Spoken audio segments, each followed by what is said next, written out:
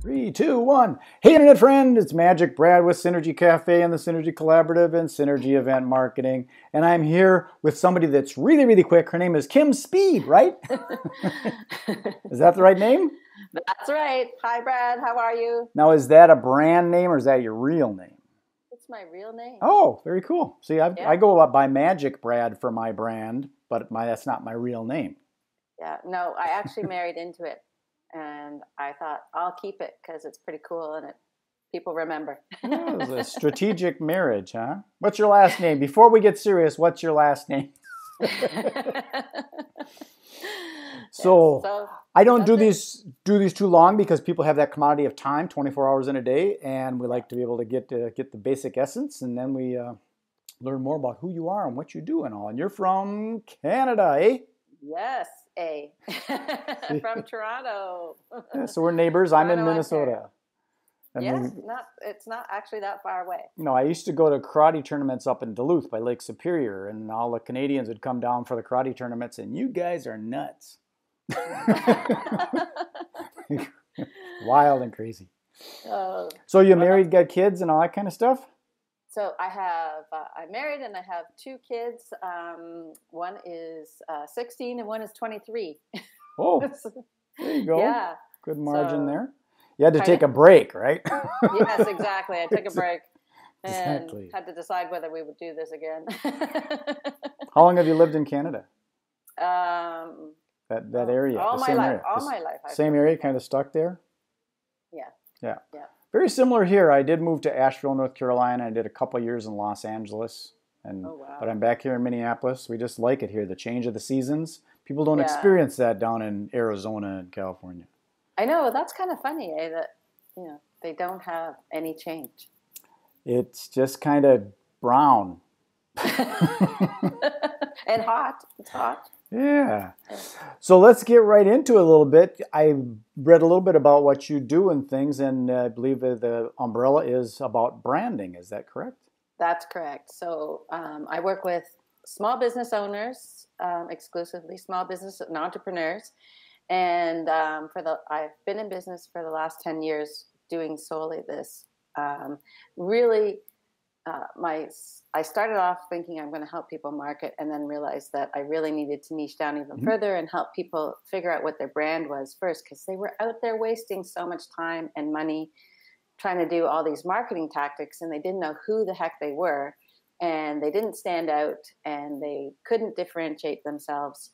So I put together a program where I work with small business owners to really figure that part out first, who you are, who you want to be when you grow up, type of thing Yeah. um, and who's what is your niche or niche as you guys call it and um, you know how to figure out what their problem is and how you solve it before we do any of the you know what you look like what your logo is what your website is and how you're going to market yourself You know, that's so, so, so important these days since the inception of the internet. I started doing business right out of high school. And actually, when I was a little kid, I was doing stuff like turn my garage into a movie theater and charge kids a quarter and stuff. So I've kind of always oh, been, oh wow always been in some sort of businessy kind of mindset. I was the kid that bought candy in bulk and resold it to my, my classmates at profit.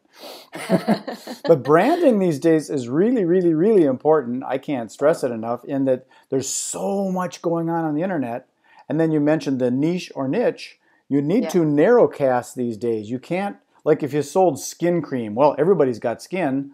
You'll Yeah. never get through all those people. So you No. need to narrow it down. And I think it's really important to have someone like yourself to be able to communicate with those people so they can kind of ask those questions and find out, like you said, who they are. Because oftentimes, as an individual, we stare in the mirror and we don't really know what we really want to do when we grow up.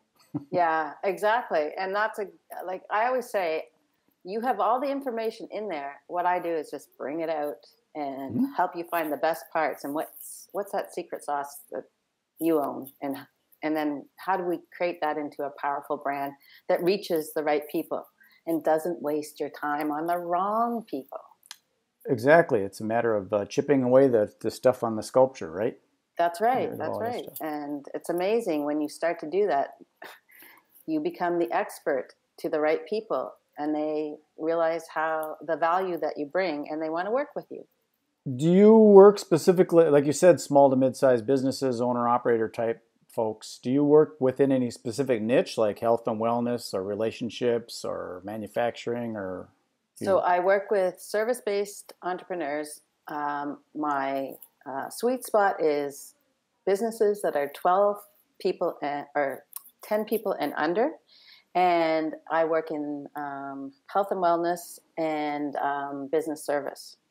See, that's that's you know I've got this thing I call it entrepreneurial ADD, where, mm-hmm. where I'm always looking for an opportunity, and it's really hard to stay within that niche. But oh, once you get that avatar selected, you know exactly how to write your copy because you know exactly who you're talking to. That it's a a 42 year old woman that has three kids that lives and likes the water and enjoys skiing in the summer. You know exactly what to write, and that's who you're going to align with and attract. So you're yeah. doing a wonderful service for people, saving them a lot of grief.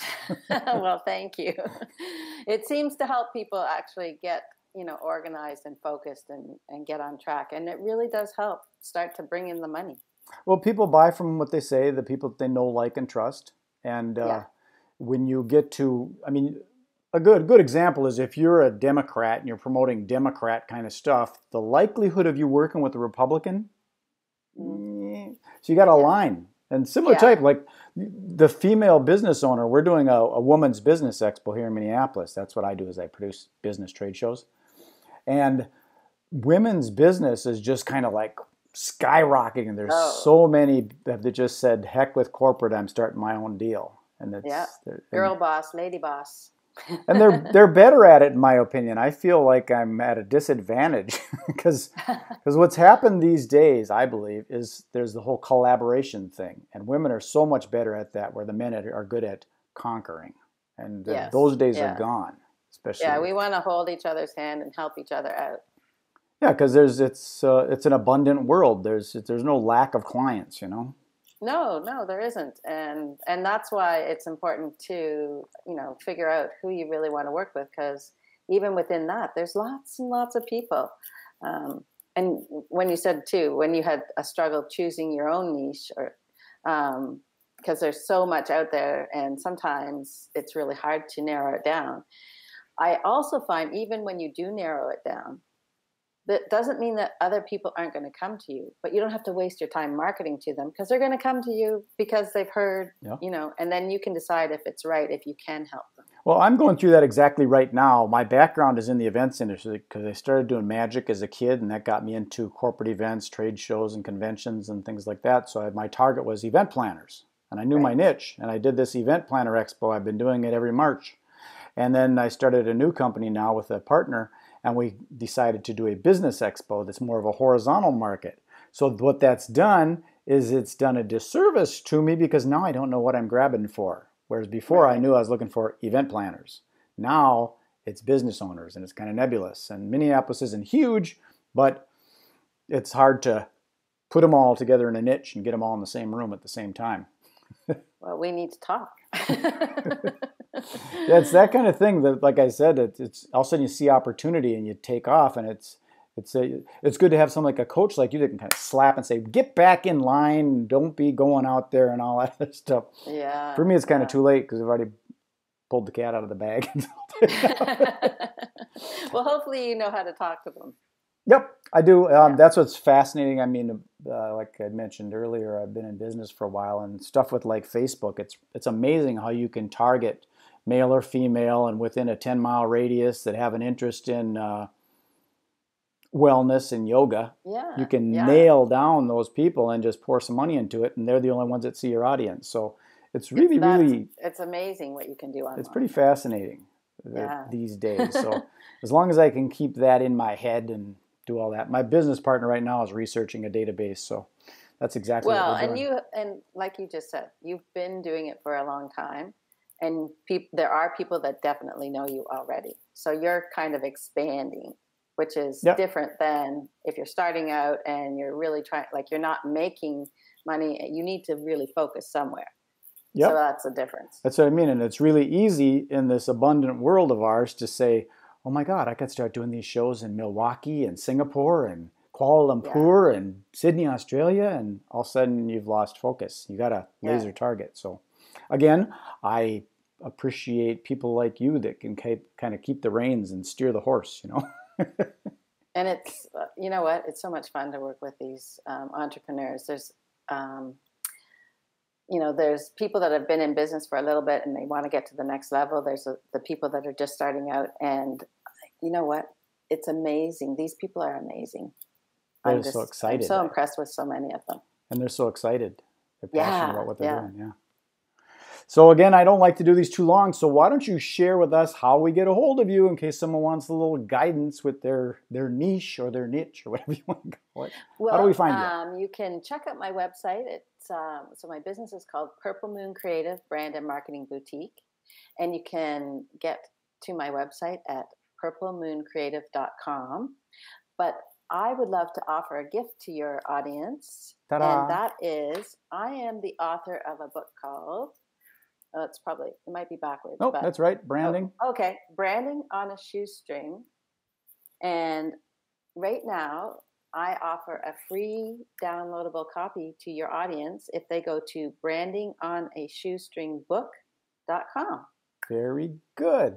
And yeah. you can tell you know what you're talking about because it's purple moon and the book seems like it's purple. yeah. Prince would be proud.